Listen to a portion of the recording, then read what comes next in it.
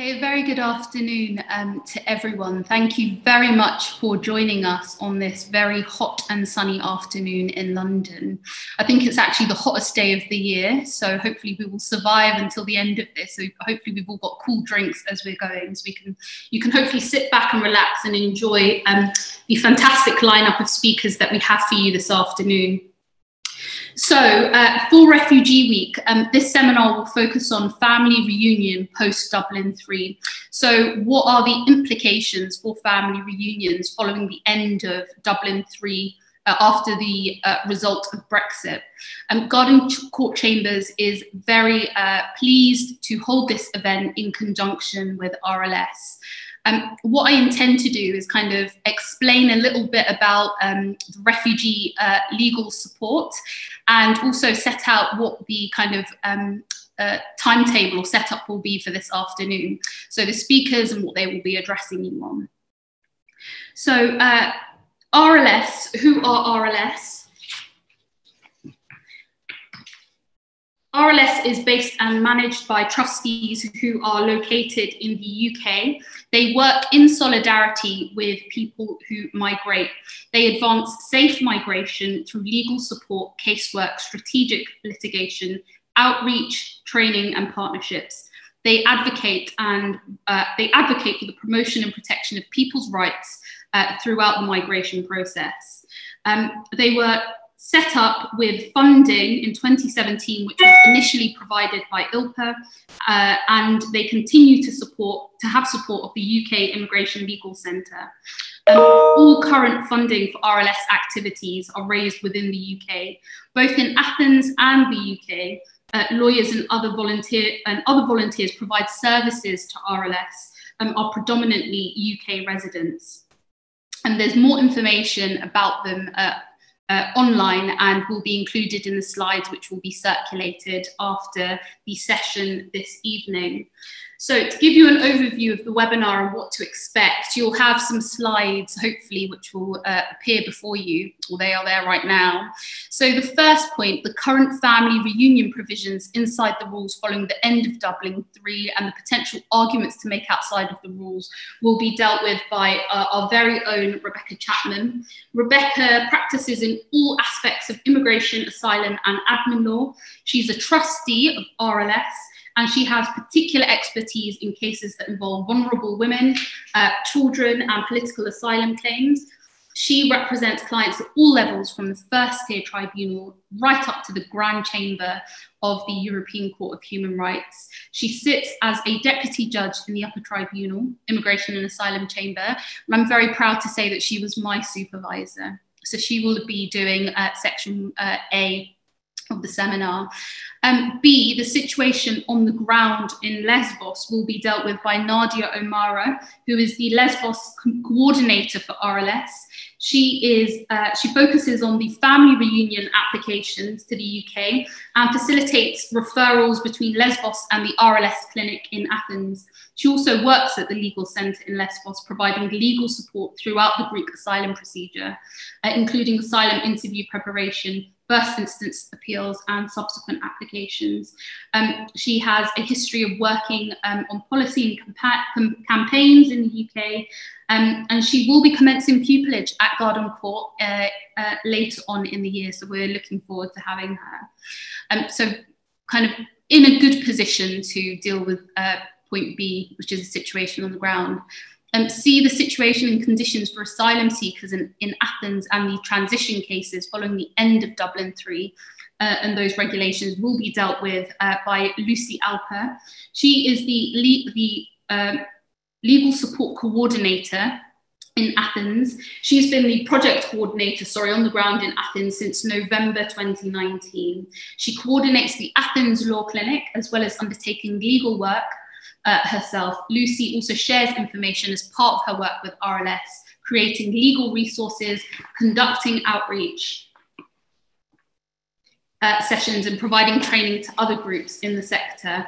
Uh, Lucy is a qualified member of the Law Society's Immigration Asylum Accreditation Scheme, um, and she's worked as a caseworker in this field since 2013, so she has a good breadth of experience. Um, point C, the situation and conditions for asylum seekers um, in Athens, uh, sorry, D, will be dealt with by um, uh, Harry Harris and Efi um, Stathopoulou. And uh, Harry is a supervisor in the family reunion from Europe um, of, as a part of RLS. She's worked in the field of human rights and state accountability since 2015. Before she joined RLS to supervise uh, the family reunion from Europe uh, casework, she worked at Feynman's and was at SOAS. Um, originally from the UK, she's been based in Athens since 2019 and provides legal support for asylum seekers and will be completing the BPTC in uh, or has completed the BPTC, she's going to be starting pupillage with us also in October 2022. It seems like this is an advert um, for pupils to come to Garden Court, and I promise it's not, but maybe it's just a place to be. Um, Efi, um, Efi Stathopoulou um, is also part of the family reunion team from Europe for RLS. She holds an LLB from Athens Law School and is passionate about human rights and refugee protection. She's worked with RLS in Athens and is now based in London, coordinating the Family Reunion from Europe project.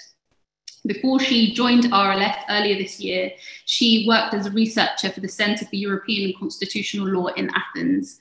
Um, uh, doing research on legal policy around anti-discrimination and fundamental rights. So um, Harry and Efi will be dealing with that final point, so family reunion from the Europe project.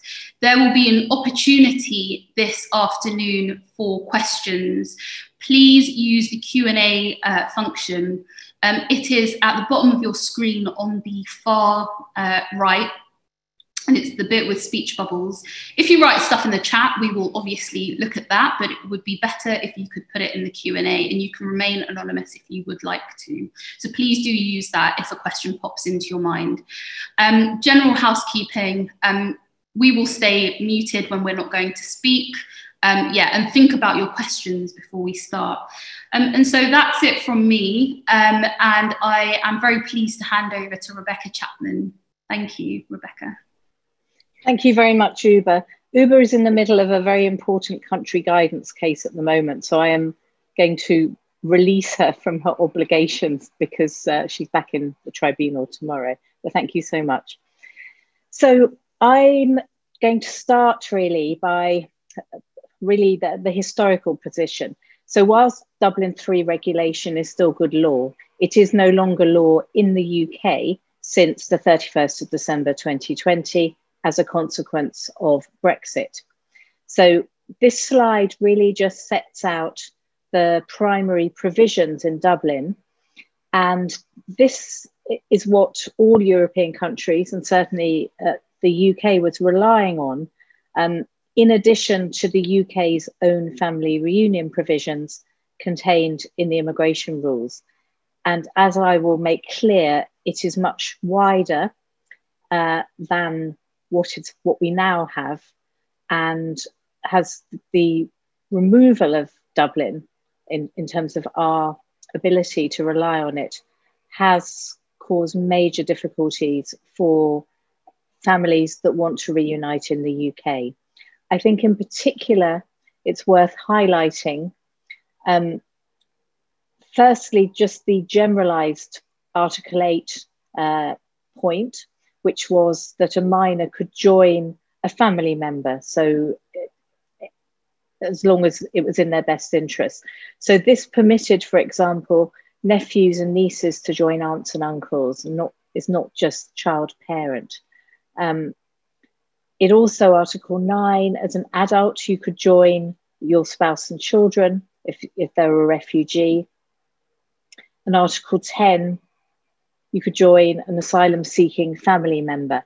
This is crucial because one of the points that uh, will become clear is that now uh, the sponsor, ideally, according to the rules, cannot be an asylum seeker.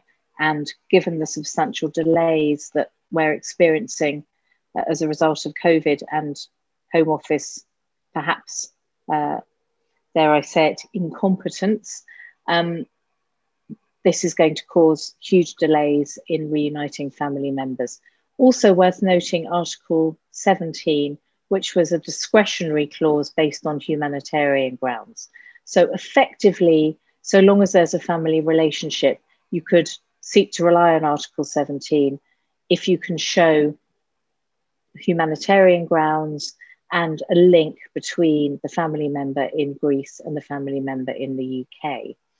So these are the statistics in relation to Dublin. So you'll see for the seven years, really almost up to the end of last year, Greece made over 28,000 requests under Dublin 3 to the EU as a whole. The UK received just over 3,000 of these, so 11%. And over that time period, almost 2,000 people were transferred to the UK under the provisions of Dublin.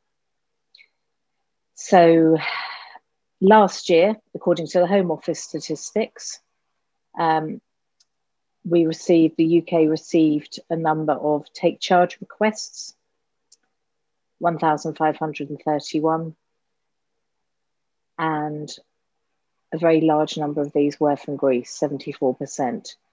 And obviously, again, Greece can no longer ask the UK to take charge of uh, family members, uh, nor, however, can the UK send a request that any other European country take back individuals who are in the UK who they say should have claimed asylum previously. We're not, of course, dealing with that aspect today, but just for the record. So, uh, moving on to what what we're left with, um, the Home Office have given indications that they may amend, expand the rules or guidance. Um, those so far are empty forms of assurance, as there's no positive indication that they're actually going to do that. Uh, this is one of the reasons why the trustees decided to set up the project, which you'll hear about from Harry and Efi, which is the family reunion from Europe, in order to explore what impact the withdrawal of Dublin has made on family reunion, and really to show that the, the loss of Dublin is, is having a negative impact on family members. So, what we have, which I think is fairly well known because we've had it for some time, is the right to family reunion with a partner or spouse if you are a refugee or have humanitarian protection, and if your relationship predated your flight from your country of origin. So, whilst the rules now cover um, a civil partnership or a relationship akin to marriage, which has subsisted more than two years, it has, has to have been in uh, the country of origin, the country of former habitual residence. Uh, next slide, please, Efi. Also, the there are provisions relating to children, 352D and FG. So you can um, apply uh, as a child in order to join your parents. So the um, the positives is that if you if you're a refugee or have have humanitarian protection, you're eligible to sponsor your partner, your spouse, or your dependent minor children under the age of 18. You don't need to show that you have adequate maintenance and accommodation. You don't have to meet the Appendix FM threshold, and you can be in receipt of public funds. The negatives, however, are quite substantial. Firstly, unlike under Dublin, you cannot sponsor someone if you are an asylum seeker. So even if you are from Syria, and it's obviously extremely likely that your case will succeed, you can't technically make an application under the rules. Uh, as indicated earlier, you can't, under the rules, sponsor a spouse or partner from a relationship that formed after you fled your country of origin or former habitual residence. You can't sponsor a fiance or a dependent child over the 18 or other adult dependent relatives. You used to be able to support other adult dependent, dependent relatives. That was removed uh, after the July 2012 changes. If you, this is if you're a refugee, and you can't support other child relatives under the rules. So that means that, and this is the one remaining category, which is really 297 for refugees. So um, it exists, but it's, it's quite onerous considerations. So the vast majority of applications are going to have to be made outside the rules. And those are obviously going to be based on Article 8 of the European Convention on Human Rights. As we know, Article 8 is about family and private life. Clearly, it's the family life aspect with which we're going to be concerned here. This can be inherently problematic because families sometimes will have been separated for some time uh, through uh, war, persecution. So that's that's really um, got to be the family life that exists between the different family members needs to be evidenced as much as is possible. There are, I've made reference here to a couple, so the Home Office guidance on leave outside the rules. It's not directly relevant, but it is, I think, worth when you're making an application or representations, at least bearing in mind bits of other um, policy guidance that can potentially be utilised. So, for example, the EU Family Reunion Directive, even though we're no longer technically bound by that, and any other immigration rules and policy that might be helpful. I think what's worth flagging, and there is ongoing jurisprudence about this, is the fact that as a, as a refugee child, you cannot apply to bring your parent. That is subject to challenge at the moment. Um, and obviously, it's hoped that that may at some stage change. So, just some thoughts about how to draft applications. In particular, try and pin it to a rule if you can. Try and really boost the Article 8 family life uh, facts and evidence as best you can. And of course, often there will be a, a child or a young person involved. So emphasize best interests, section 55, the guidance and the jurisprudence. So I'm not going to go through case law. This is really just cases that may potentially be relevant, but the, the slides are going to be uh, sent round afterwards anyway, so you'll have those.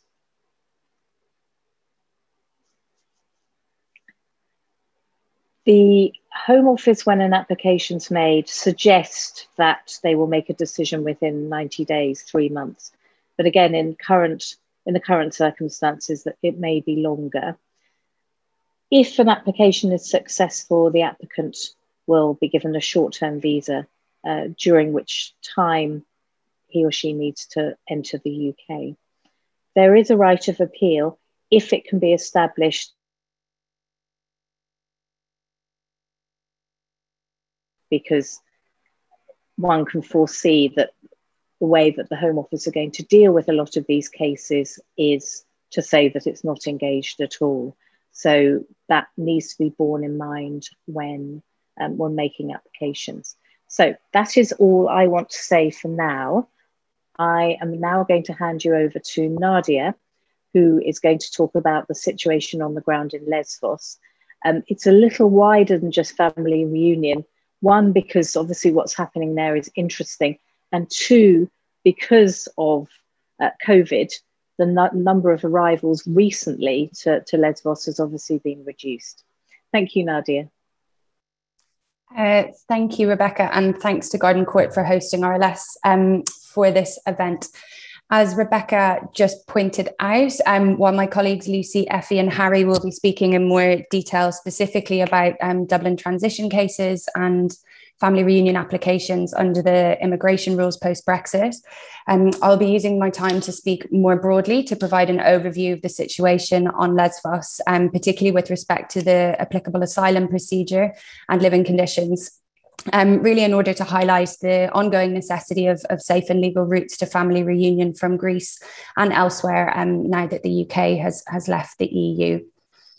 Um, so turning then to the, the context on Lesbos and the Eastern Aegean Islands more generally, Lesvos and specifically the now destroyed Moria camp has long been a poster child for the failures of EU migration policies and the so called refugee crisis in Europe. Since, since 2016, the context on Lesvos has been shaped by the EU Turkey statement. Um, which has really transformed Lesvos and also the other um, Aegean islands into essentially open prisons. For those who are not aware, the 2016 EU Turkey deal is based on a statement of cooperation, um, providing for the return of all irregular migrants arriving on the Greek islands back to Turkey. And the, the root of this deal is, is based on really the flawed designation of Turkey as a safe third country. Um, the safe third country concept, of course, allows um, EU member states to return applicants for asylum or humanitarian protection to a country other than their country of origin um, if they passed through it on their journey to the member state and if they have a connection to that country. Um, it's only permissible um, technically uh, to apply the safe third country concept where that country, in this case Turkey, satisfies um, a set of criteria. Uh, firstly, it must be possible to request refugee status and, if eligible, receive protection in accordance with the Refugee Convention.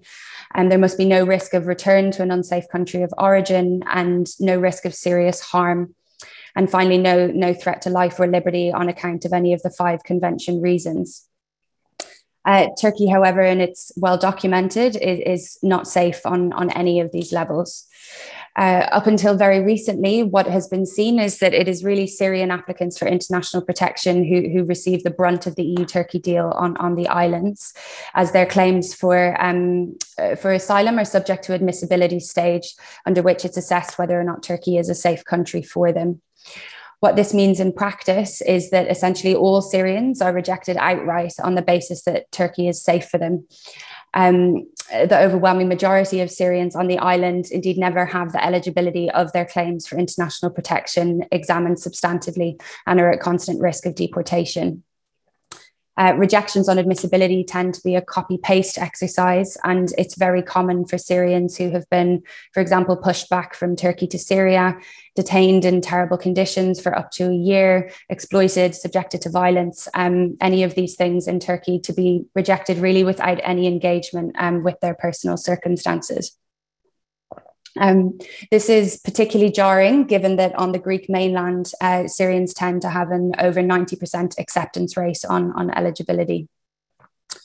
Uh, the experience for Syrians on the islands to date uh, really highlights how flawed the EU Turkey deal is. Um, but unfortunately, as, as of last week, things are now likely to become much worse for other nationalities. Um, so the Greek uh, government announced last week that this admissibility component uh, would now apply to applicants from Syria, but also from Afghanistan, Somalia, Pakistan, and Bangladesh. And this admissibility stage will now not only apply on the Greek islands, but across Greece, um, including the mainland what we've seen so far is that this announcement was implemented straight away, and um, applicants from uh, the new countries on the list are already only being asked about um, about Turkey during their personal asylum interviews.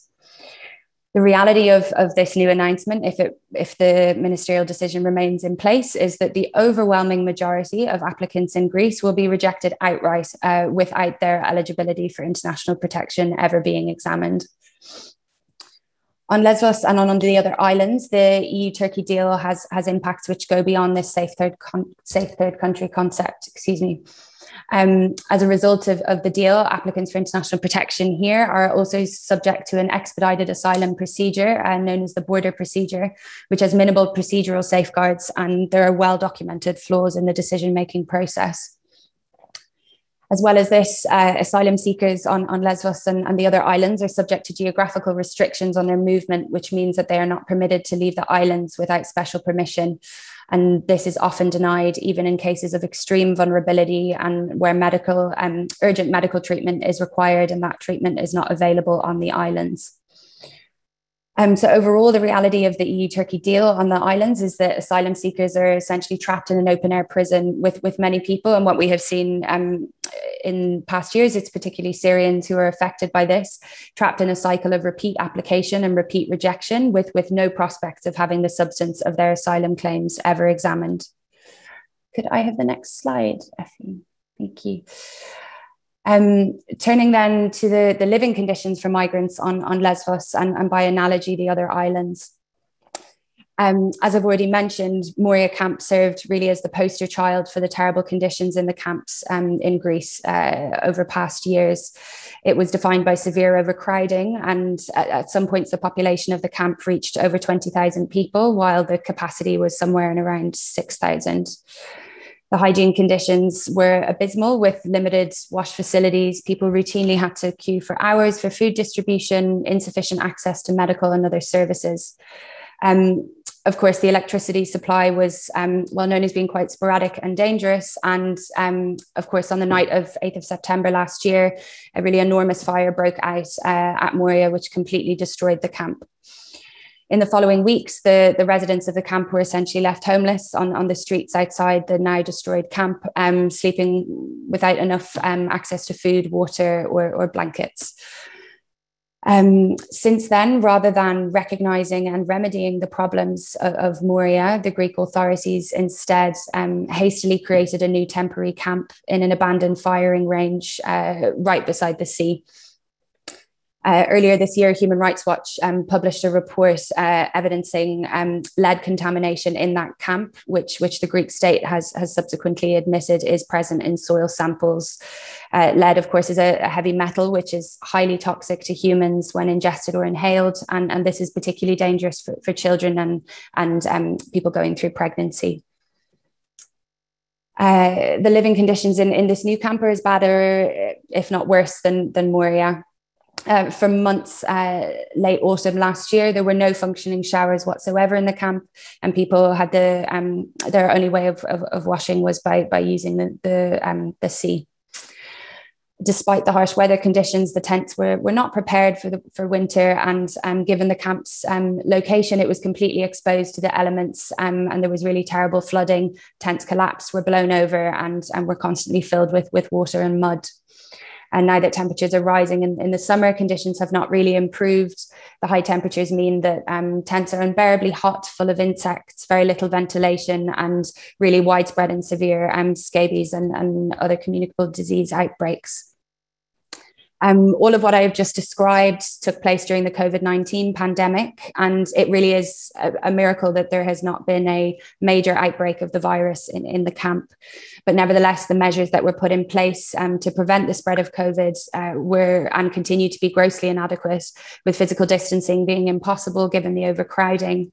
Um, and at the same time, the public health restrictions that, that have been applied um, to residents of the camp have been applied really in a very discriminatory fashion for example, at, at present, um, I, as, as a resident of, of Lesbos more broadly, have a curfew of 1.30 a.m., um, whereas residents of the camp have, have to be back inside by 5 p.m. And despite claims that the camp is temporary, the Greek authorities have, have signed a, a five year contract for the premises, um, while at the same time, and somewhat contradictorily, announcements have been made for, for the construction of a new controlled camp on the island. Uh, it remains to be seen whether this will go ahead, but but the plan as it stands is that residents um, in this controlled environment would have their movement in and out of the camp fully restricted, and it will be located in a, in a very remote uh, part of the island away from um, all urban areas and amenities. I have the next slide. Thank you.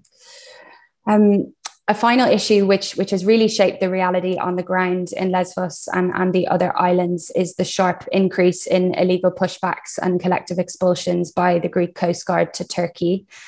Uh, so over the years, but particularly since 2019 through 2020 and into this year, there have been consistent reports of unlawful return, um, including through pushbacks of groups and individuals from Greece to Turkey um, by Greek law, law enforcement officers and, and also by unidentified masked men. Reports from 2020 recorded multiple incidents in which um, Greek Coast Guard personnel, sometimes accompanied by armed masked men in dark clothing, um, unlawfully abandoned migrants, um, including those who, who had reached Greek territory. Um, migrants have, have been um, routinely abandoned at sea on inflatable vessels without motors. As you can see in the image on the slide currently, they're essentially like floating tents that are, that are just left um, in the middle of the sea. these boats are then towed into Turkish waters um, and at that point have been intercepted, attacked, and damaged. Um, these collective expulsions have also been evidenced and recorded at the Evros land border with, with Turkey and um, in northern Greece. I have the next slide. Uh, of course, collective expulsions are in clear violation of the principle of non-refoulement, um, which is present both in Greek national law uh, under the European Convention and, and, international law. However, what has been seen is that these systemic violations have, have been met with consistent denial on the part of the Greek authorities and with the complicity of Frontex and the EU.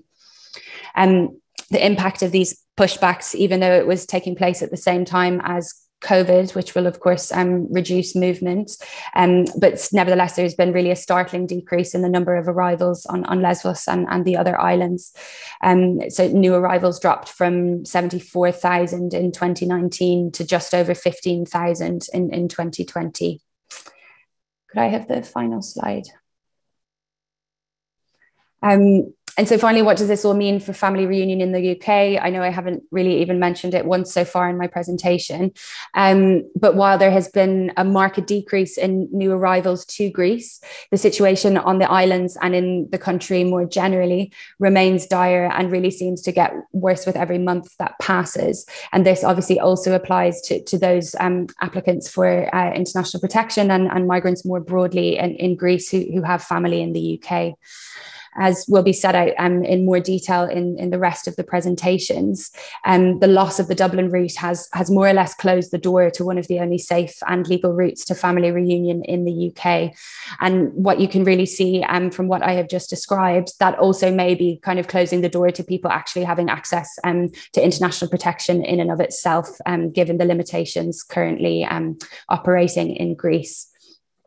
And so, really, to conclude, without an improved and uh, legal framework and, and the requirement of specialist legal assistance, uh, those with family in the UK will continue to remain trapped on the Greek islands uh, with limited prospects of, of accessing the international protection uh, for which they're eligible or, or to be reunited with, with family in the UK. Uh, that's everything from me, and I'll now hand over to Lucy. I look forward to answering questions later. Thank you very much, Nadia. Um, Lucy Alper is now going to talk about the situation and conditions for asylum seekers in Athens and also about transition cases. So these are people who applied for family reunion before the end of Dublin 3 regulation, whose cases are still um, more or less, there are possibly not many left, but have been processed uh, since, um, since Dublin came to an end. Thank you, Lucy. Thanks, Rebecca. Um, okay, so I will speak uh, quite briefly about the situation on the mainland. Um, of course, uh, I think it's quite well known the situation on the Aegean Islands, how horrific um, everything that Nadia's um, really amazingly outlined for us tonight. Um, but on the mainland, unfortunately, it's it's no better. So, um, of course, uh, there's fewer arrivals, um, and uh, you know the images have left the media of, of people arriving as they were in 2015. But actually, um, although there's fewer arrivals, uh, because the routes for people to move on and leave Greece are closed, uh, there's actually more people seeking asylum uh, than there were in 2015. So from 2015 to 2018, there was actually a 400% increase in asylum applications in Greece because wow. people simply couldn't uh, move on. Um, so the Greek Asylum Service, um, which only officially started its operations in 2013, um, is seriously overburdened and uh, very dysfunctional. So, um, I mean, just to give an example, um, close to the Brexit deadline in December, uh, one of the Greek Asylum Service offices, uh, they changed premises and they didn't have a phone line or um, proper access to, to the DubliNet system. So just when you really needed to contact people and make sure uh, requests were being sent, it was impossible to communicate with them. Um, in general, in Greece on the ground, there's no uh, state legal aid. So people navigate the asylum procedures at first instance and including family reunification uh, alone, usually. Uh, there's a limited number of NGOs with limited capacity. Uh, what happens in reality is that the Greek Asylum Service staff communicate with applicants directly, uh, sometimes with interpreters, sometimes with the wrong interpreters, sometimes with no interpreters, sometimes on WhatsApp. Uh, I mean, what happens a lot is that, um, for example, decisions are communicated informally and without enough time to respond uh, in order to, for example, apply for a reconsideration request in time. Um, there are huge delays to actually claim asylum. So, although people are physically trapped in Greece, um, they struggle to register claims for asylum if they arrive uh, over the land border at Evros, so from Turkey to Greece. Uh, if people don't arrive via the islands uh, and they arrive direct to mainland Greece, um, it's very common to meet people in Athens where I'm based who are completely undocumented and they've been in Greece for maybe many, many months. And there's literally just uh, no way to effectively lodge their claim for asylum. The, the way officially to claim asylum is via Skype. So there's different um, Skype lines for different languages and a timetable for allotted uh, periods of time you call it your specific language time. But uh, the Greek Asylum Service uh, once admitted there was only two people answering those Skype lines. So as you can imagine, uh, people's calls usually go unanswered. So it basically leaves people really uh, vulnerable to detention, uh, unable to like move on, progress their claims and their futures. Um, and of course, they, nobody can apply for family reunification if they haven't actually claimed asylum in terms of the Dublin procedure. So I've I've been working alongside people who have uh, very strong, straightforward Dublin family reunification claims. Uh, but for example, because of lack of interpretation or uh, a particular office being very busy, they're given a time to return maybe in a year. Um, so they're left completely undocumented. Um, uh, I wrote also about on the slide about bureaucratic hurdles. Um, for example, one of the asylum offices in Athens insists that you can't claim asylum unless you have official proof of address. But of course, if you're undocumented, you're going to really struggle to have any kind of official proof of address. You can't legally sign a house contract if you're undocumented. So it's incredibly difficult to even get to the stage where you can apply for Dublin family reunification even before Brexit, unfortunately. Um, and the next slide, please, Efi. Uh, yeah, so it's not just in the UK that there's a hostile environment. There's, uh, uh, I would say, well, let's say, very right wing uh, government currently in power, the New New Democracy Party in Greece. Um, they uh, have changed the law over the course of their uh, reign in power so far. Uh, for example, things like um, it, it, used to be legal to work once you'd claimed asylum, but they said that for the first six months after lodging your claim, you weren't eligible to work, which is quite cruel considering there's limited employment opportunities anyway. Um, when people get decisions, um, they are expected to uh, leave their accommodation if they have any, if they're in an official camp or UNHCR accommodation. They have 30 days to leave, similar to the UK, but of course, in Greece, uh, it's very difficult to transition from um, uh, like into mainstream welfare benefits. There's very, very limited state support and huge barriers to access it, and the uh, European funded integration programs are not fit for purpose, basically. Um, so uh, people's cash support is also cut immediately when they get a decision. Uh, when I say cash support, it's similar to an Aspen card, known as a cash card in Greece. Uh, it's uh, the program was um, implemented by UNHCR, but it's now being handed over to the ministry, to the Greek government. Um, similar rates also to asylum support in the UK, but the difference is that people are expected to pay their rent from this 150 euros a month, as well as their food and other essential living costs. Um, so, uh, in terms of accommodation, it's that there's not a system similar to the NASS accommodation in the UK. Um, the only accommodation uh, officially is in camps where there's no clear referral pathway into into camps um, or a UNHCR run accommodation program, but you must have evidence of a specific vulnerability in order to be referred, and you might never hear back, even if you are referred. So, um, in general, homelessness or people living in really inadequate, overcrowded private accommodation uh, is the norm, unfortunately. And um, uh, the first thing the Greek government are, have announced when they're in control of the cash card program is that from next month, if you're in private accommodation, you're not eligible for this cash card, uh, which obviously the people in private rented accommodation or homeless need that card the most. Uh, but yeah, we're going to face a lot more challenges from next month. Um, in terms of unaccompanied asylum seeking children, there's no functioning state social services really for uh, unaccompanied homeless minors. So um, there's what's known as protective custody, which is essentially where minors are imprisoned in police stations before being transferred to detention centres. Um, the, it was recently announced that this protective custody regime should end and that the time uh, unaccompanied minors should be kept in prison. It should be uh, much more limited, but unfortunately, on the ground in practice, um, detention of children is still ro- routine. Um, there is a hugely inadequate number of shelter places, uh, less than half um, of minors in Greece, there's space for them.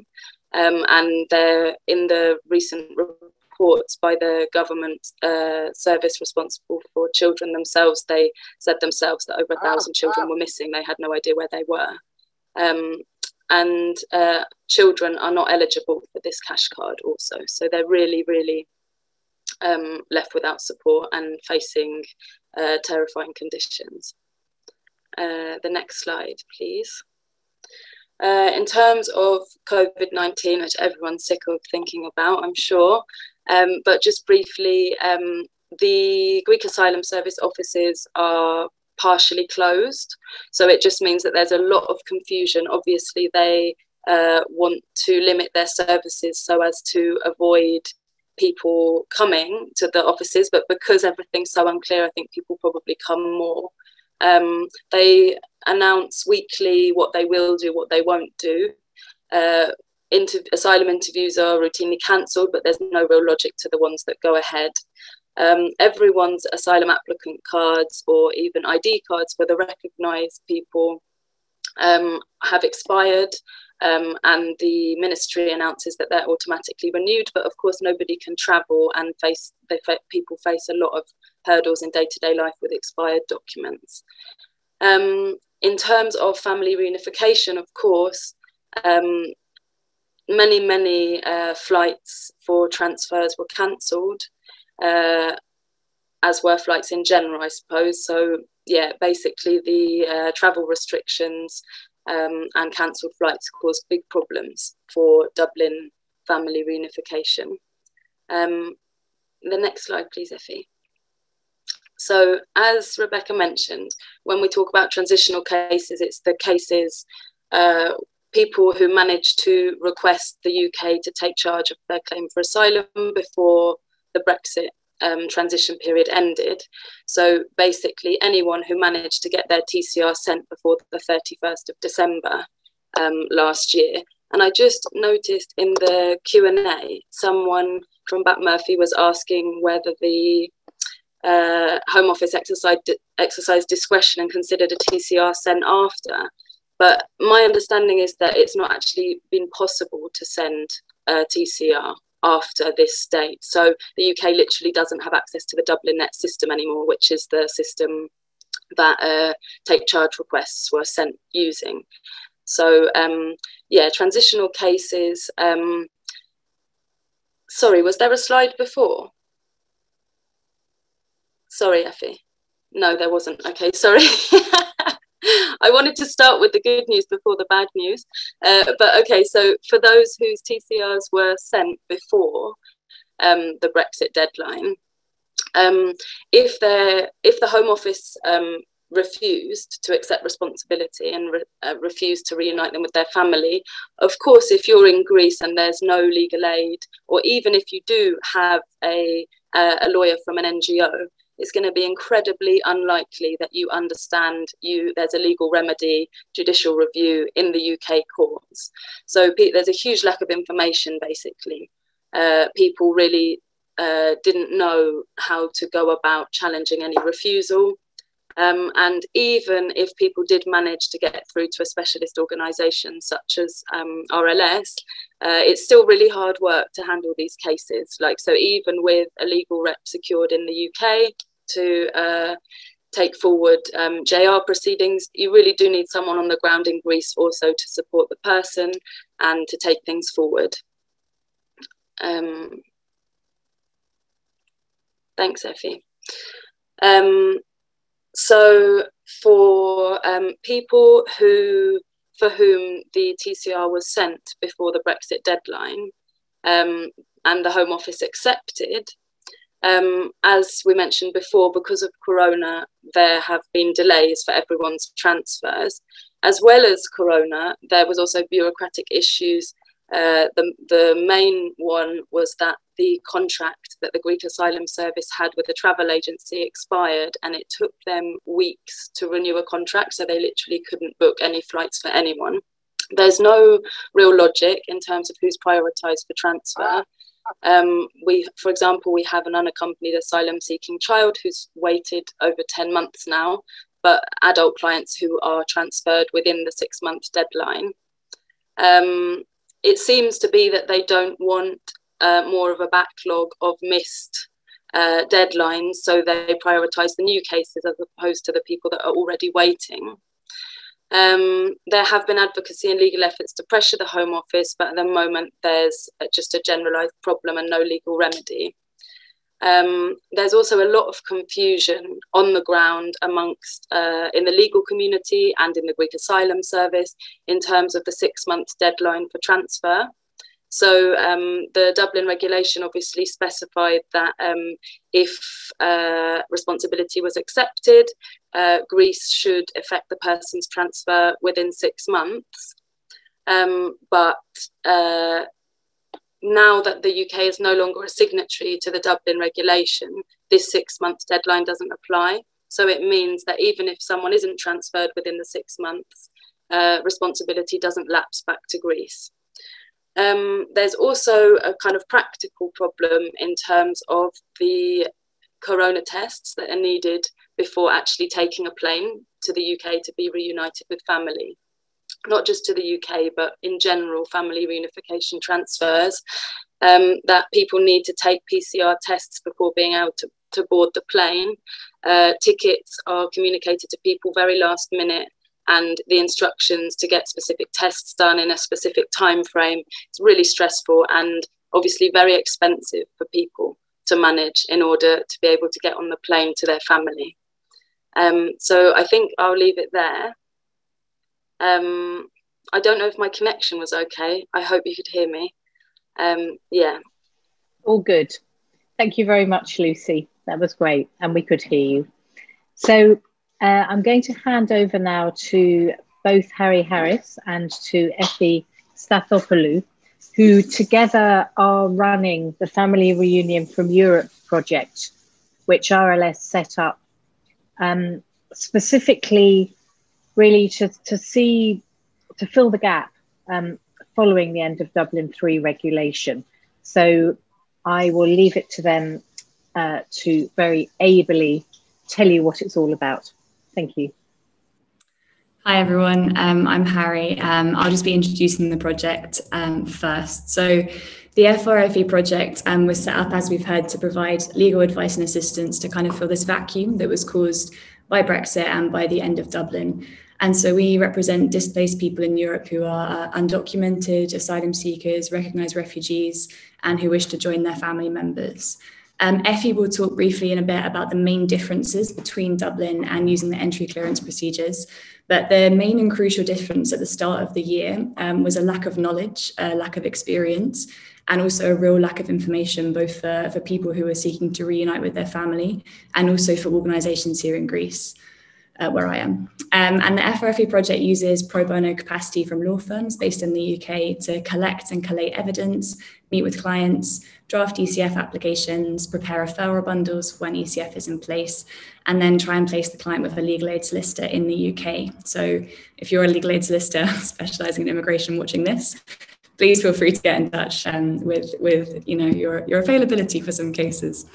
Um, and in terms of what we've been seeing, so the cases we work on um, with the FRFE project involve obviously a sponsor in the UK and applicants in, Greece, France, Germany, and across Europe.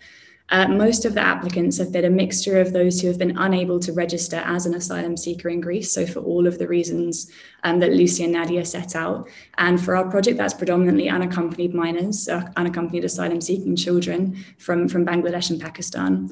Um, we also have clients who are currently asylum seekers in Greece um, and people who've had their claim rejected at the second instance and who are therefore either trying to register for a fresh claim or who are at risk of removal. Um, and the biggest difference, primarily from Dublin, um, is that you don't need to be registered as an asylum seeker in order to apply for entry clearance for family reunion. So we can, in fact, help people who are unregistered, which is which is quite a big change. Um, we have seen some trends emerging with regards to the status of family members in these cases for the sponsors. Um, in the majority of cases with separated families, so um, two parents, children, where one of the parent and perhaps one of the children is in the UK and the rest of the children and other parent are in a European country, um, the sponsors are all asylum seekers. Um, so, for example, we have six families who are all Kuwaiti Badoon, and they've had their asylum claims rejected in multiple European countries. And now one parent and perhaps one child has made it to the UK and is seeking asylum there. And then for the unaccompanied minors, the sponsors tend to have settled status, British citizenship, um, or in some cases where they're joining siblings, and the siblings might have refugee status. So this in turn means initially around half of our applications for entry clearance are outside the rules and based on the immigration status of the UK sponsor as an asylum seeker. And then the cases that involve unaccompanied minors um, joining uncles and aunts in the UK, um, perhaps they also don't meet the requirements for maintenance and accommodation. So arguments are based very heavily around Article 8 rights and the best interests of the child. Um, we also have cases of adult children trying to join parents in the UK and also of parents trying to join children who were able to make it to the UK um, through the Dublin procedure. So I'm going to talk just briefly about some of the challenges and the difficulties that we've been facing um, with the FRFE project in terms of really quite practical things to do with the situation in Greece um, and in Europe more generally. So for the ECF stage, for example, um, evidencing you know a negative or inst- unstable income can be very difficult. Um, as Lucy mentioned, the UNHCR cash card, um, providing evidence of this can be really hard because people often apply through apps like Viber. There's no paperwork that you can use to directly evidence the, the cash card a lot of the time. Um, so often we have to rely on things like an ATM receipt or an image of the card um, and a signed statement from the client, you know, evidencing how much they are paid every month. But the payments are often sporadic. They might stop working. They might come late. It's very hard to show regular income of any kind. Um, and also going to an ATM to get a receipt is not always easy, especially at the moment or earlier this year when the COVID restrictions were, were incredibly um, restrictive and there were a lot of police on the streets of Athens. Many people felt quite afraid to leave their houses and do things like print a statement and sign it or go to an ATM and, and take out, you know, a receipt. These things aren't necessarily always easy for people who are in Greece. Um, Another issue is the informal housing setups in Athens. So this is particularly relevant for people who are undocumented. So perhaps for people like Lucy mentioned who've been trying for you know months and months and months to call on Skype, but who have not been able to register.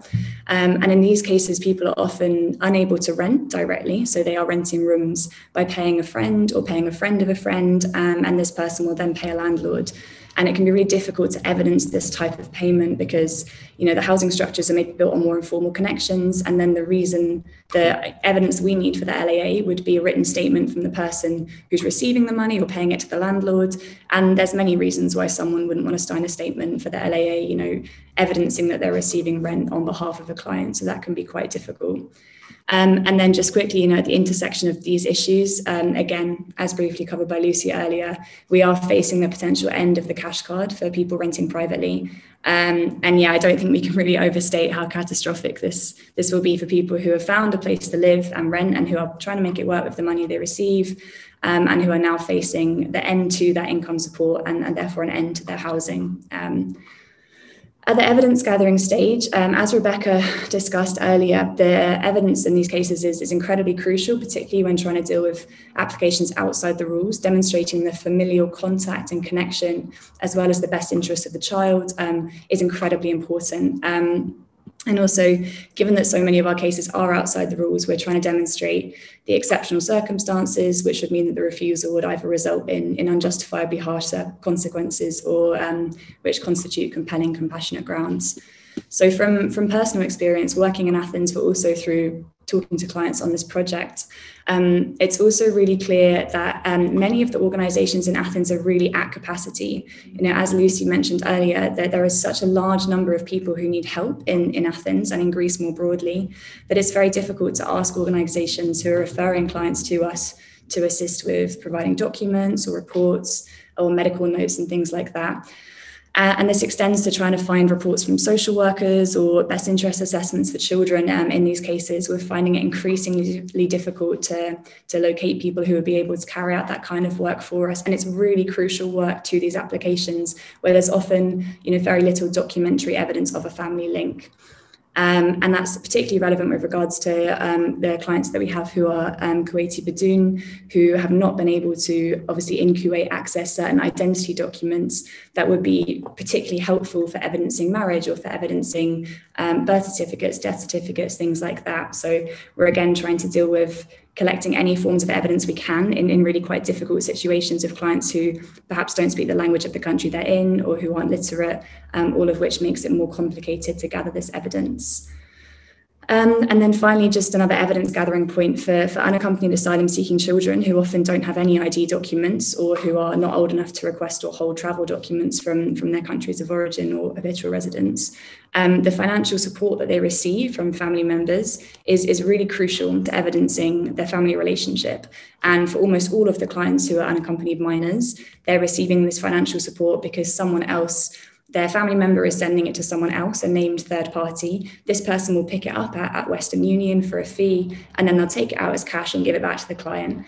And that's just an additional difficulty to evidence that. We have to try and ask the person who's picking up the money to make a statement because it's obviously very important to show this financial support. It's, it's really good evidence of a family connection, um, but it's often just complicated by the fact that people don't have the documents to pick up money themselves. So um, and then finally, just a few of the broader issues or more structural problems. Um, obviously, as again, both Lucy and Nadia mentioned, it's very difficult sometimes for asylum seekers to access medical treatment, medical facilities without assistance or accompaniments, which makes it much harder to produce re- relevant evidence in support of an application. Um, and in terms of the provision of incorrect legal advice, we've had reports from clients that they've they've received really quite incorrect legal advice. We have a um, clients in France, for example, who um, she's a, a Kuwaiti Badoon mother of four, and she went to um, try and request a family reunion under Dublin in early December, in the first week of December.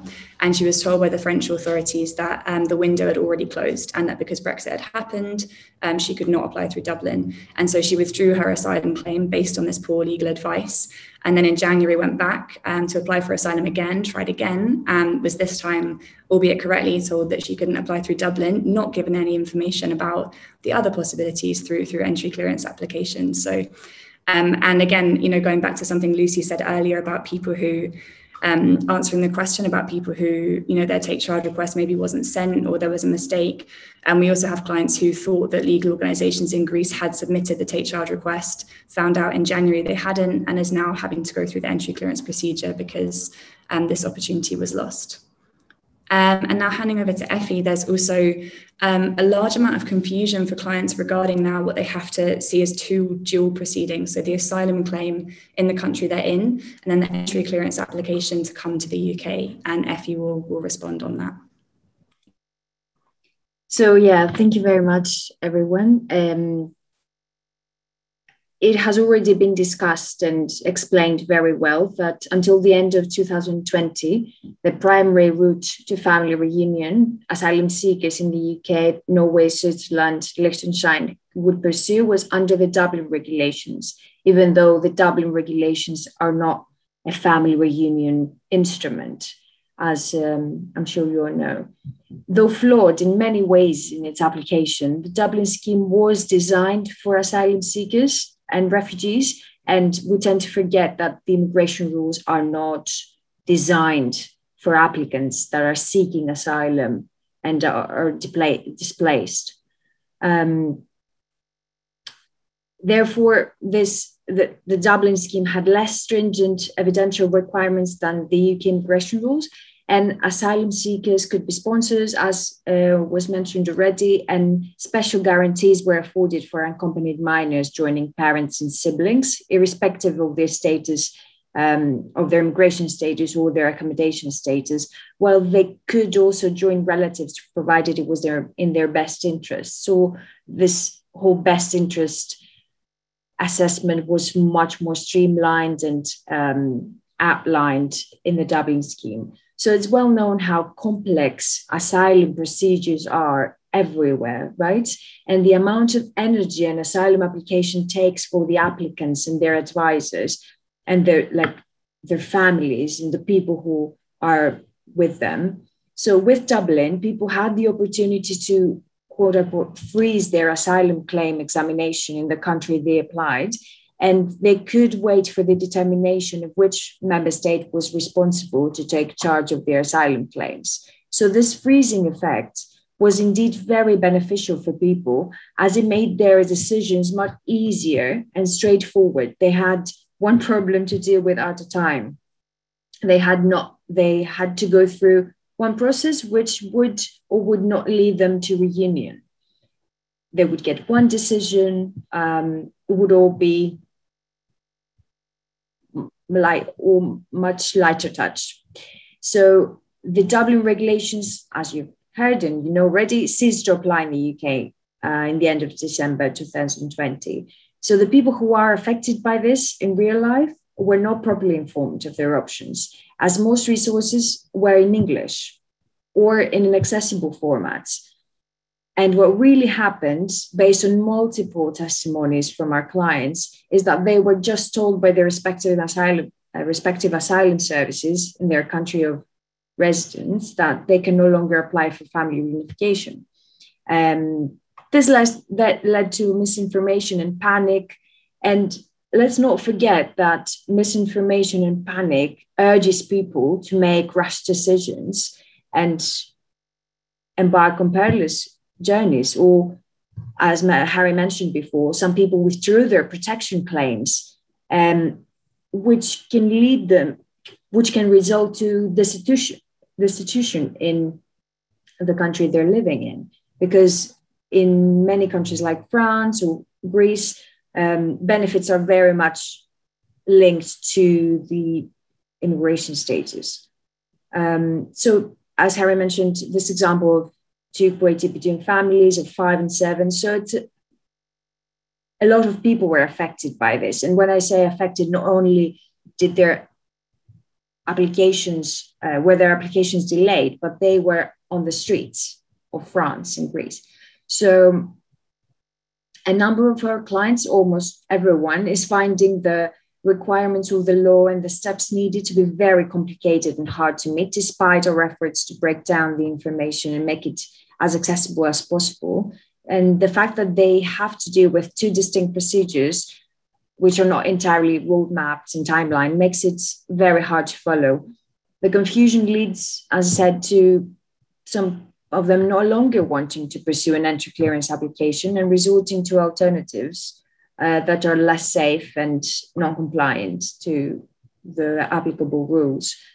So, so to il- illustrate this confusion, we have an example of the procedure a family has to go through prior had to go through prior the end of the 2020 compared to the steps they'd have to follow in order to reunite post Brexit.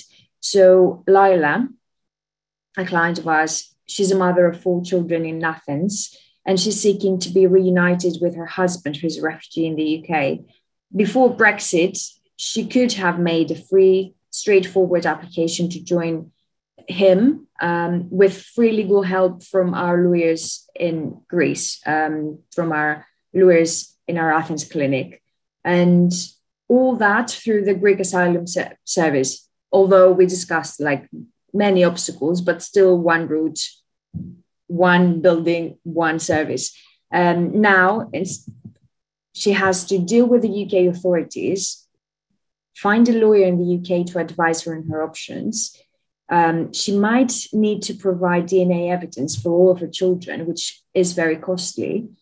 Find an appointment at the Athens VAC, uh, which can have can be like five or ten uh, weeks ahead and costs five uh, 50 sorry 50 pounds for each applicant so it's 250 in total there are some free appointments that are scarce or not possible to find at all um, it could be i don't know in seven months so it all defeats the purpose and she'd have to pay for official translations of documents that are needed for the application and in case her application in the fortunate event that her application is successful, she'll have to pay for her and her children's tickets to the UK.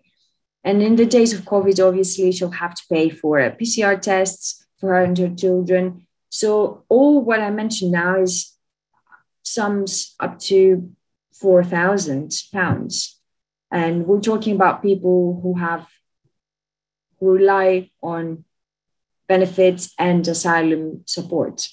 And as Lucy mentioned earlier, it's very, very little and it will stop for many people. So, this is an example of a case that doesn't attract a fee. The costs are exponentially higher if we talk about fee paying applications, such as the adult dependent relative under the Appendix FM, or other applications involving unaccompanied minors and sponsored with ILR or British citizenship. Coordinating um, communication among parties is also very challenging. Communicating the different procedures and managing the expectations both of the clients and their lawyers in Greece, France, Germany, or wherever in, um, in Europe is becoming increasingly complex and some as some valid legal questions are being raised uh, because no one was really using that route before. The lawyers and their other advisors in Greece or France are the first ones who to encounter cases of family reunion to the UK as they have direct contact with the applicants. And because the, the advisors are not well informed about the options to apply for family reunion under the immigration rules, people are not always don't always get the right information. They're scared, they are discouraged, they are yeah, discouraged completely.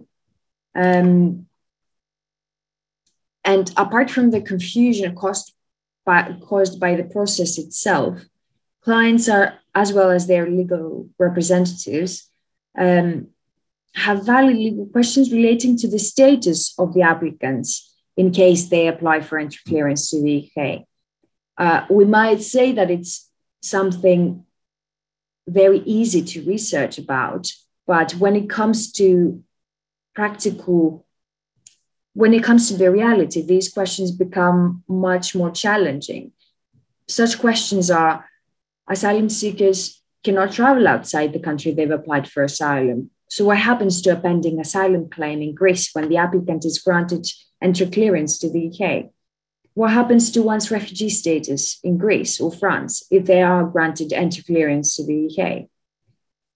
These are legal questions that I'm sure you can all answer if you research, but these are questions that come up every day and people require answers.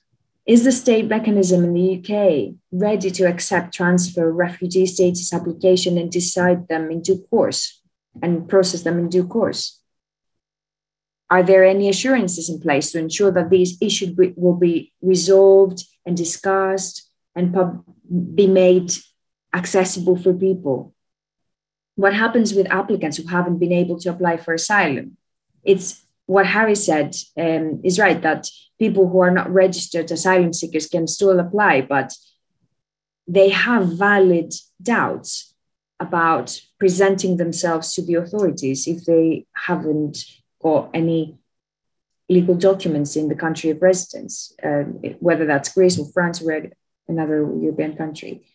Um, and let's not forget that the UK government statement on legal routes for protection claimants from the EU of, of the 8th of February, in conjunction with the new plan for immigration recently introduced for public consultation, do not seem to propose any viable solution or answer any of those questions.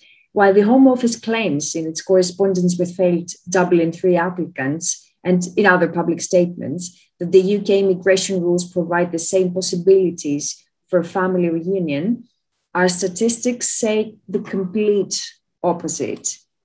As you can see here in the charts, more than 85% of our cases would be eligible under the mandatory clauses of the Dublin regulations, whereas only 14.6% of our cases are of our clients are eligible under the immigration rules for family reunion. And I mean, I'll leave it here to reflect a bit, um, and Harry will pick up and give you a bit more information about other legal issues. Yeah, just just a final point because I'm aware we have questions and we are running out of time. Um, just to raise that the the fee waiver application issue at the moment um, is is something that's causing a lot of uh, distress and confusion for sponsors in the UK, and this is most relevant for unaccompanied minors, um, who are a significant number of our clients, joining aunts and uncles under paragraph 297 of the immigration rules. And the prospect of a fee paying application, even with a very thorough explanation of the fee waiver application process, is understandably quite concerning and troubling for sponsors. And we've had several cases of sponsors dropping out of the process um, following requests for, for bank statements or for detailed breakdowns of income and things like that. Um, and also, I mean, as, as legal practitioners, the current lack of guidance for fee waiver applications at the moment is is, is difficult and concerning. Um, RLS submitted an FOI regarding the processing of these applications in this interim period before the, the new guidance comes out. And the response was just that while you know applicants are entitled to apply for a discretionary fee waiver, um, an application will only be considered if it's urgent, and non-urgent applications will be placed, placed on hold pending the publication of the review, the revised guidance. Um, and there was no explanation, you know, from that FOI about urgency. So, for example, some of our clients are clearly urgent cases in terms of their the timing. So perhaps they're 17 year olds who are turning 18 in a few weeks. But I mean, in other cases, they're, they're urgent just because they involve children living in unstable temporary accommodation with adults and, and no cash assistance, no social support, and no care. Um, we also are concerned about the status of the asylum seeker sponsor. So, as we've mentioned many times, most of our sponsors for, for these separated families are asylum seekers in the UK. Um, and although the majority of their claims are very strong, the underlying claims, there's still a big element of uncertainty surrounding the, the status of this family member joining outside the rules um, to meet them. If they're dependent on the asylum seeker status of the sponsor, and then if that application is rejected, the asylum application of the sponsor, it just adds another layer of, of precarity and uncertainty for families who've often faced, you know, years of, of fighting to be recognized as asylum seekers or, or fighting to reunite. And so finally, from, from the work that Efi and I have been doing, and it's really clear that this process is also just quite psychologically distressing for, for clients and for families. Um, many of the children of these separated families are, are seeking treatment for stress-related physical and mental health problems and the uncertainty around applying outside the rules, which in itself is, is something which sounds relatively difficult or, or um, uncertain for clients, uh, let alone the delay on top of you know the delay of the asylum application, the delay of perhaps not being able to submit your TCR application under Dublin, and now more delay of, of doing this application, and then just the re-traumatization of, of repeating all this information all over again to a new set of legal practitioners. Um, all of this is, is contributing to a situation where the family is really forced to deal with multiple complex legal proceedings at once, just in order to try and be um, reunited. Um, so I think now we'll hand back over to Rebecca, who's going to host a, the brief Q&A. Um, thanks. Thank you very much, Harry and Efi. Um, I also wanted to thank the commercial law firms without whom we couldn't actually run the FRFE. Uh, currently, uh, they are Orrick, Ashurst, Reed Smith, Allen and Overy, and White Case. And tomorrow, in fact, we are training Simmons and Simmons, who have also um, are going to be offering their pro bono services. So thank you to them as well. So in terms of the Q&A, I think they are all now in the Q&A. A few snuck into the chat. Um, hello, Antonia. I'm sorry I can't see you. So in terms of your question, the first one, uh, does the ban on children seeking to bring in family apply to former children with refugee status granted when they were children or as young adults? I mean, the answer to that is effectively yes, in the sense there is no immigration rule. So if, if you recall from the slides, it's only your spouse, partner, or a minor child that will fit neatly under the rules. However, there is absolutely nothing to stop you making an Article 8 application outside the rules. Does anyone want to add anything to that?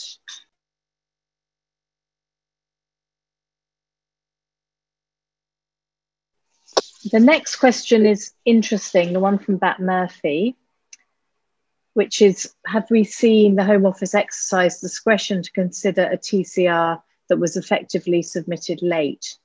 Um, I have a feeling we did have a case, but I can't remember what happened to it. So I'm going to now turn to the team, possibly Lucy, to see if we've had any. And I, I suspect we may have just it was too late and we just had to do it as an outside the rules application. Yeah, unfortunately, uh, I mentioned briefly in um, just when I spoke earlier, um, but maybe it got lost in all of the incredibly horrible to hear information. Um, yeah, it's not physically possible for the Greek Asylum Service caseworkers to send a TCR to the uh, European Intake Unit anymore because um, the EIU just doesn't have access to DubliNet anymore. So over um, in this really awful Christmas period when the computers were down and the phone lines were down and the Greek Asylum Service uh, were experiencing technical difficulties, they were sending just emails to the European Intake Unit, but things were getting really badly lost. And that's not the way TCRs are obviously supposed to be sent and received. So since Brexit, as I understand it, it's not actually physically possible to even send um, a, TCR. Um, so anyone that we do encounter um, after, um, basically from this year onwards, we have to try our best to see if there's an application to make, usually outside the rules with the FRFE project. And it's worth saying that the FRFE project is basically the only one of its kind, really, because there are other organisations obviously doing amazing work, but mainly focusing on unaccompanied children only. So when adult potential applicants pop up who under Dublin would have had, um, you know, a TCR sent for them, it's really one of the only options, unfortunately. Yes, the only the only time that I've seen the exercise of discretion is in transitional cases which are already a judicial review. So they they did in fact predate. Uh, so, for example, say we got DNA, um, it was rejected, but in the JR, the Home Office then changed their mind and exercised discretion. But those were already ongoing cases, if that makes sense. Um, so there's a question from Joe Mandava uh, to me whether it's possible to use family reunion case law to make an application outside the rules to demonstrate the best interests of a child, where a sponsor is a naturalised British citizen and former refugee. Um, um, it's not clear, presumably the child is external, the sponsor is a former refugee, now British. So I think whenever there are, there are children, you're possibly going to have a better prospect of success just because, as you know, the, the case law and Section 55 mean you've just got more robust law to rely on. Uh, there's a question from Wendy Pettifer about the funding situation. Um, this is quite interesting, and I think I'm, I'm again going to hand this back to the to the Athens team. Basically, we have had to register, try and register ourselves as a charity in Greece in order to operate there. Um, so when we are a charity in the UK, but more generally, I think possibly Harry uh, and Lucy may be able to comment on that. Wendy. Do you want to, Harry? Go ahead. I'll chip in.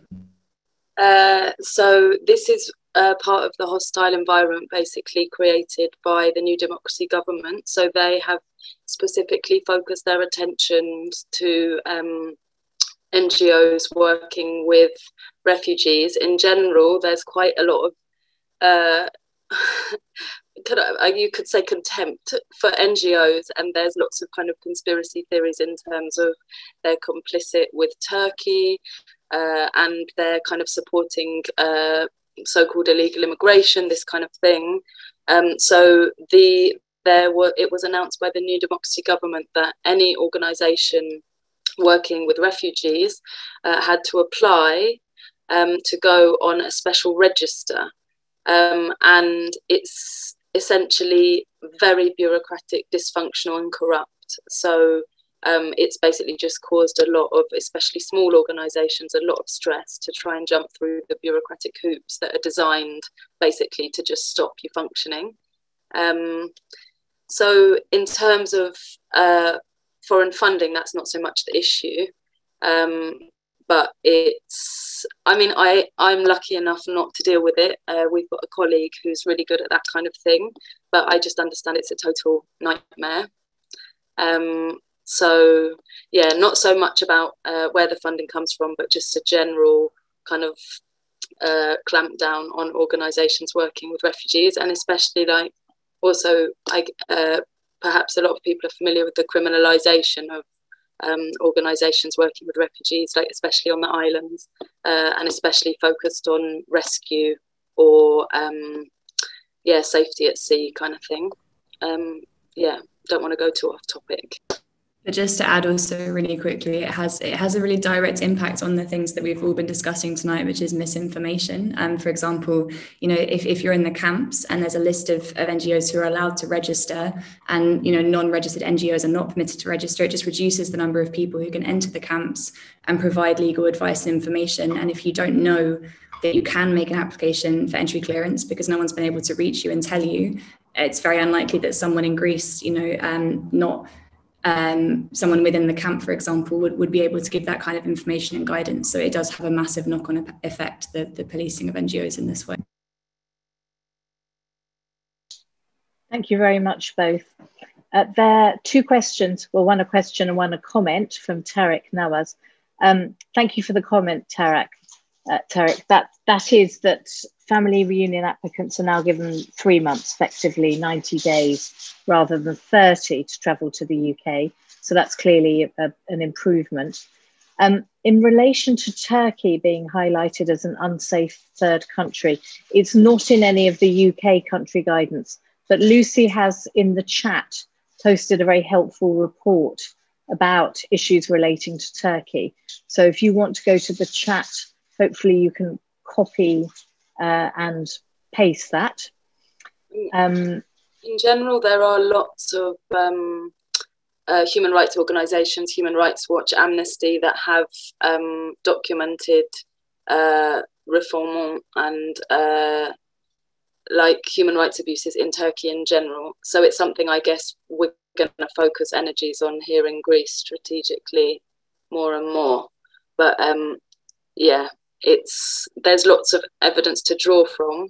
Uh, but the thing I posted in the chat is particularly significant because it's the European Asylum Support Office themselves saying that Turkey isn't um, isn't particularly safe. But um, yeah. Thank you for that, Lucy. Um, there, there's an interesting question from Antonia again about consideration of the emotional and financial capacity of a family member to look after a child relative when making the family reunion application. I'm going to pass that to Harry and Efi to answer because you, I know you've both been having um, close contact with with sponsors. Yeah, I mean, it's absolutely it's it's a really crucial crucial consideration. So financially, it's something we have to consider in terms of the maintenance and accommodation for for a child sponsor for a, sorry a child joining a relative who is settled in the UK, for example. But also, we've just had a lot of experience with sponsors who it becomes very clear when a sponsor does have the emotional connection to a child. Um, you can see it through the messages. We gather all kinds of evidence about, you know, what they talk about and what they're in contact about, and the amount of financial support they're giving, and the amount they know about the child in question. Um, and it becomes very clear that if a sponsor is not really dedicated to bringing a child that they love to the UK to live with them, they, they will drop out of the process. It's, it's incredibly taxing for sponsors to provide this level of, of information, of, of personal um, witness statements of you know information about their their income and their housing and their family. It's very personal stuff. Um, and and if a sponsor doesn't have this kind of you know emotional financial capacity, it's my experience that they drop out. They, they don't continue with it. But I mean, Efi, if, if you have anything to add to that, please do. No, I I would um, only like to say that for some people it becomes their only yeah. They're the only thing they're doing for the period that they're talking with us. They're constantly on their phone. They're constantly trying to find evidence. And so it's very emotionally yeah, draining. And i think this procedure shows that the um, family relationship is so stereotypically outlined in the um, immigration rules that only a certain kind of relationship and a certain kind of closeness is acceptable. And we are advocating for you know making the family members um, definition as wide as possible. And yeah i think we all think that it's very unfair that the sponsors have to commit all this uh, like engage so much of their time at this very initial stage and so intensively. So, of course, they have to be engaged and committed, but sometimes it, we are asking too much from them. Some some of them are like older or uh, they don't have computers, they can't send photos, they can't sign papers, they can't they don't have a bank app to access their bank statements quickly. It's all these things that we need to take into account. So yeah, I just wanted to say that. It's it's also really interesting in comparison to Dublin, because under Dublin, obviously it was really good for us that um, and for people that they could reunite more with less of an evidential burden. But for children uh, going to their guardians or their parents or their brothers or their sisters, there was no requirement to show that uh, they could take care of them. So, on the one hand, it's really, really good that a child would leave the conditions in Greece. But, and I don't want to, you know, obviously we need to, I don't want to ruin what's seen as the only happy ending, a family being reunited. But the reality was that um, a lot of relationships did break down upon arrival in the UK because um, you know, if you're well, for for many different kinds of reasons, families are complicated. But I mean, under Dublin, if a child wanted to go to their aunt or their uncle or their grandfather or their grandmother, then you did have to show at least that that relative could take care. But for siblings, you didn't. For parents and siblings and guardians, you didn't.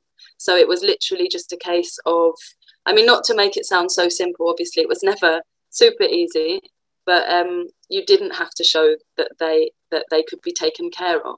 So yeah, it's it's a really interesting question.